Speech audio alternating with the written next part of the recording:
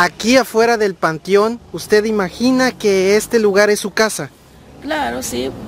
Ella permanece en este lugar caminando por las noches alrededor de este panteón. Desconocemos por qué ha decidido permanecer aquí.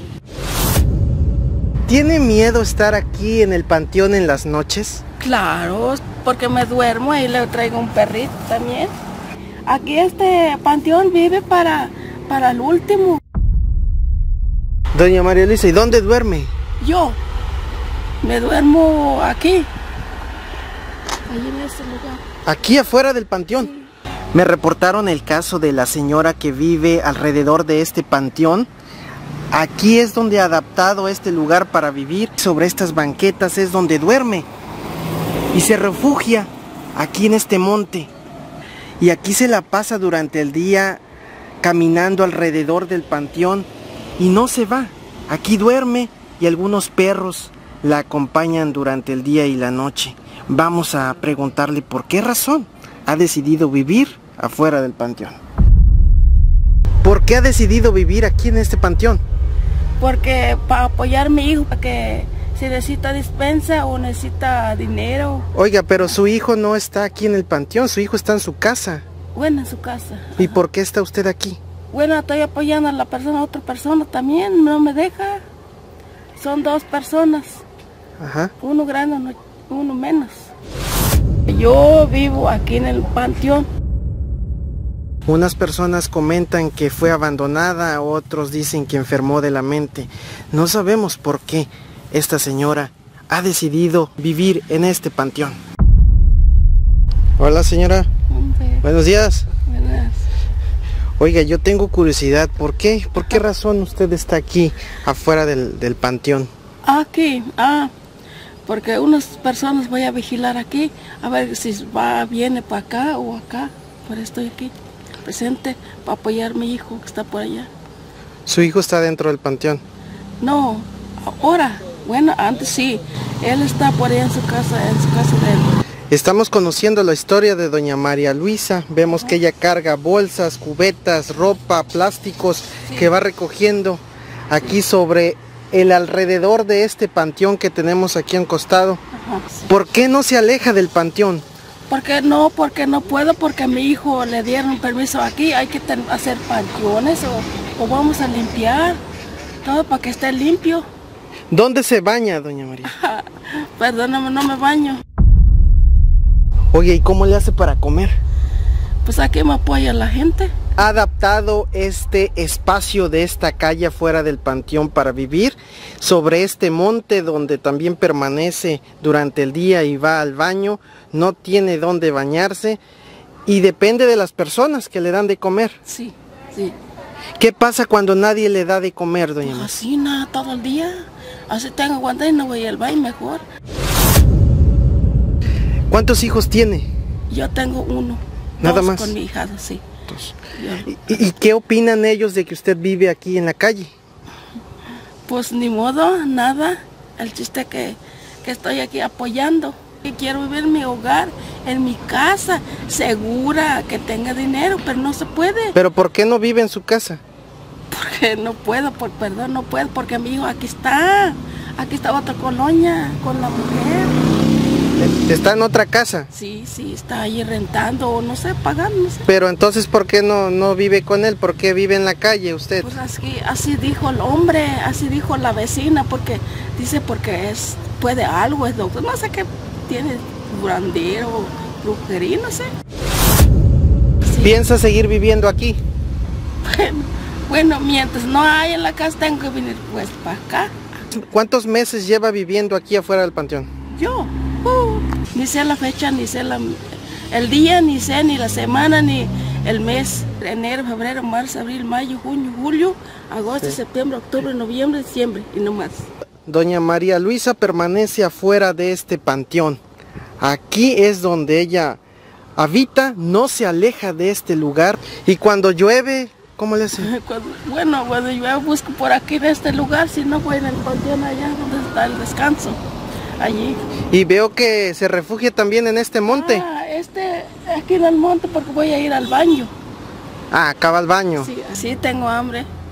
Doña María Luisa, yo le quiero compartir eh, eh, esa comida que le traje a usted. ¿Y ¿Qué es eso? Es eh, eh, una pancita de res bien sabrosa y este jugo. ¿Qué le parece, doña María? Es mondongo, pancita de res, Ah, para que usted coma. Pues está bien, está bien, sí.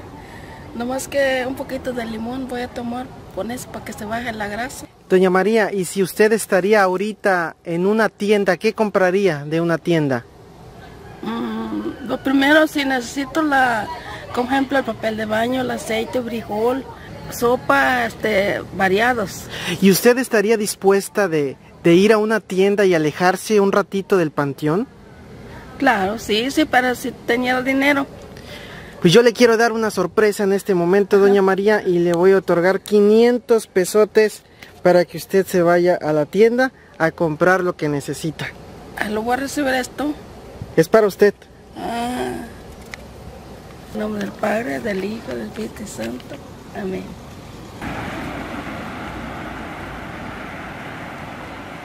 ¿Qué Sí, está tal? bien. Punto de sal. Todo bien. Qué bueno que le gustó. Sí, está bien. Está sabroso. Sí, sí, sí, como no sabroso, como nunca pruebo esto. Bueno, pues muchas gracias. Muchas gracias, este, este apoyo me das, voy a cambiarme. Voy a la tienda para comprar. ¿Qué lleva ahí en sus bolsas? ¿Qué Ah. carga? Ah, llevo agua, me dieron agua y mi, este mi suéter, botellas y botes y, y es mi ropa lo que pongo, ropa lo para salirme. Y por eso vengo a luchar ahorita, quiero comprar mis, mi- mis chanclas, mire, mi calcetita para un poquito mejor, quiero ir a la misa.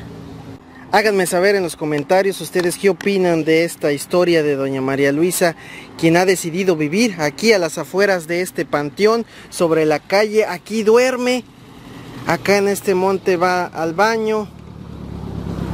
Muy increíble. ¿Usted se siente feliz viviendo aquí afuera del panteón? Bueno, bueno, no está muy, muy, muy seguro, estoy feliz. Mi casa y mi animalito tengo y mi hijo no sé cómo vive por ahí. ¿Y cómo se siente al vivir aquí? Bueno, este, no estoy muy, no muy seguro, no está muy seguro, no estamos felices. Está- Entonces, ¿po- ¿por qué permanece aquí si no se siente tan a gusto? Ah, pero, pero como me dice la persona, yo quiero ir, ya- yo quiero ir, me dice a mí, y le digo, yo ya puedo ir, no vas a ir hasta la noche. Dice, ¿Qué voy a hacer? Tengo que estar aquí. ¿Y qué le dice la gente de que está viviendo en este lugar? Pues dice, pues tengo que abrir la boca yo para pedir ayuda a la gente, lo que pasa con carro. Si no abro la boca, la gente también se queda callada. Bajo el intenso calor, bajo la lluvia, bajo el frío, ella no se mueve de este lugar. En ocasiones la acompañan algunos perros, quienes aquí están con ella durante todo el día y la noche. ¿Le da miedo vivir en el panteón? Claro, porque tengo que estar lim- limpio. ¿Cuántos años tiene, doña María? Y perdóname, perdóname, no te puedo decir todo bien completo, porque sucedió una un caso de mi rancho, se quemó mi casa y se quemó mis papeles. Estoy, perdón, Dígame. no estoy este, bañada porque usted está limpio. Yo estoy medio mojado con, ya sabes con qué. Perdón, usted se urge mucho las palabras. No puedes usted limpio como hombre, tú trabajas en una oficina, está limpio usted. Yo no, yo me meto donde quiera. Me dio gusto conocerla y poderla apoyar. Y que Dios la bendiga y la siga protegiendo donde quiera que esté. Porque es muy peligroso vivir en estas condiciones, en la calle, a la orilla de un panteón. Es Sí. muy peligroso, doña María. Claro, sí. Pero usted ha decidido permanecer aquí. Pues sí, la, la gente lo opuesto tiene que hacer, tengo que cumplir, dice. Y sí lo estoy haciendo, aunque no quiero, tengo que hacer.